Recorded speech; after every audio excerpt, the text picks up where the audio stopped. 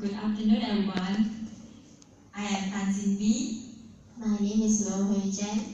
We are from the Faculty of Modern Languages and Communication, majoring in foreign language Mandarin. In this course, we learn many knowledge about languages, grammar, and also some culture. So today, we are going to introduce types of renowned ancient Chinese paintings. To complete this presentation, we refer to certain online sources such as Wikipedia and Baidu. So firstly, what is Chinese painting? It is one of the oldest continuous artistic traditions in the world. And it is also known as native painting. By native, it means the the Chinese people in China. And these Chinese paintings are painted using brush dipped in, dipped in black or colored ink. And it is normally painted on paper and silk.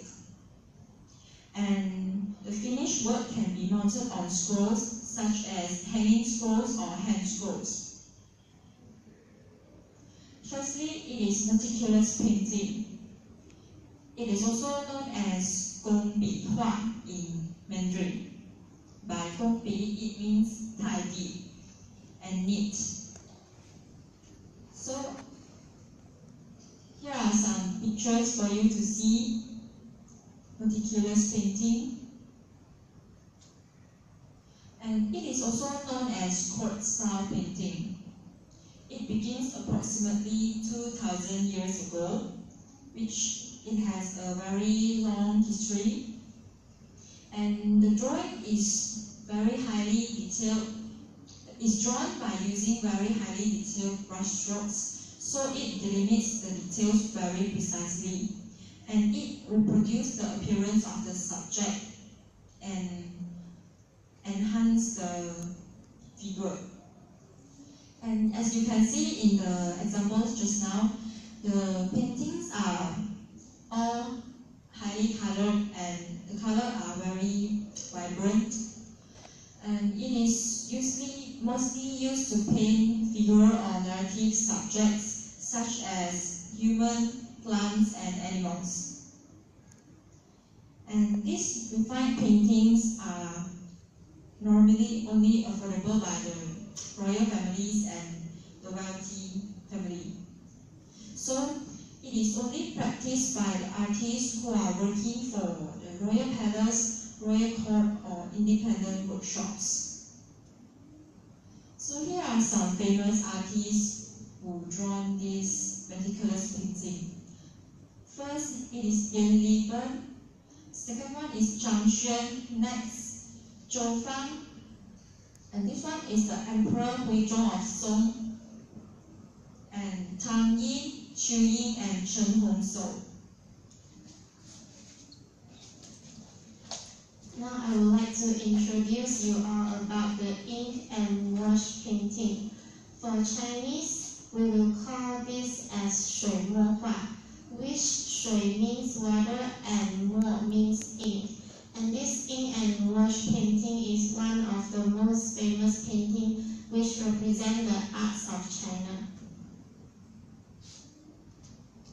As we can see from this painting, um, the drawing is not that neat or clear compared with the meticulous painting which explained by Cindy just now and you can see um, it's not tidy enough, but you can feel the soul and the liveliness of the leaves. So this is the purpose why the painter draw with ink and brush to make their painting more lively and uh, fragrant.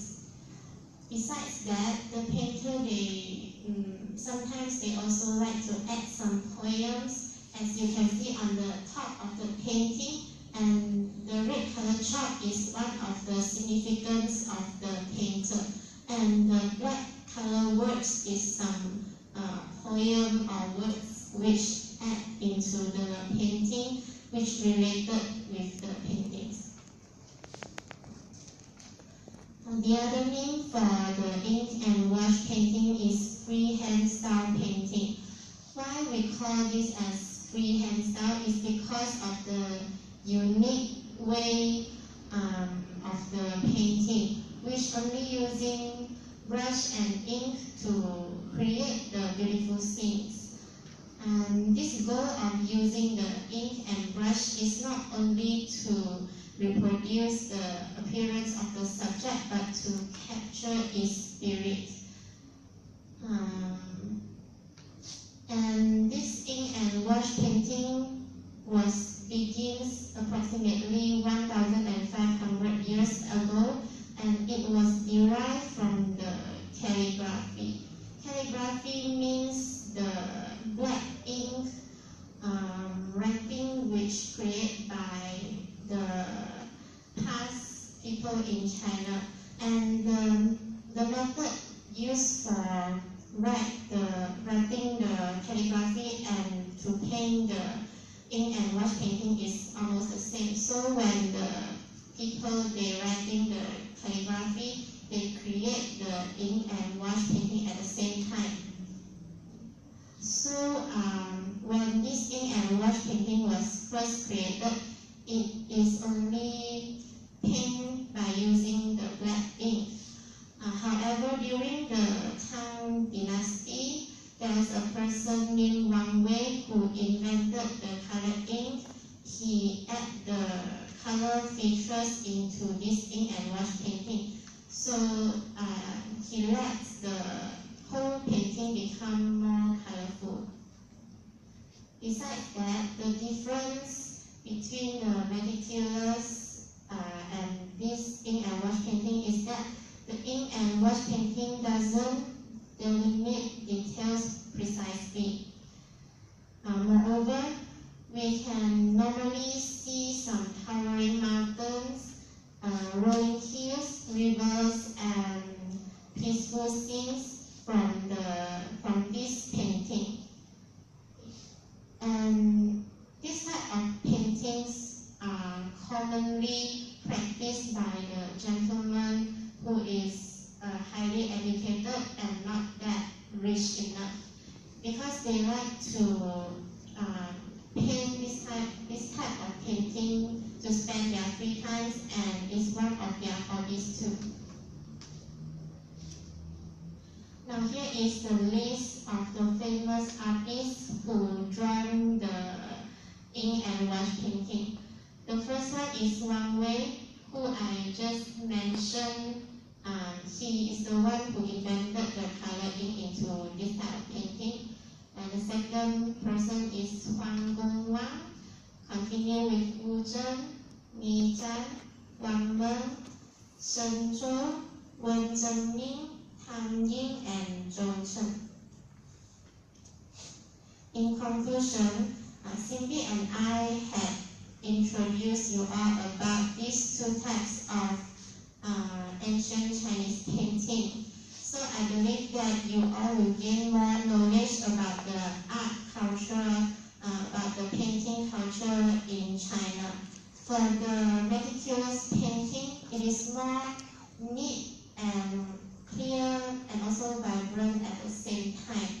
You can see the painting is very beautiful and um, very nice. Uh, meanwhile, for the ink and wash painting, it's more about freestyle painting, um, but it's more, it's full of soul and it contains, uh, it, you can see the liveliness and the fragrance of the art. So, um, the arts of this Chinese culture is a very pre precious and unique arts of China.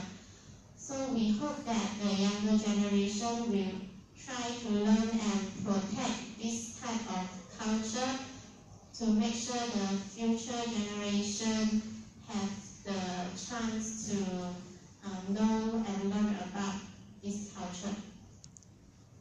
So it's all from us. Thank you.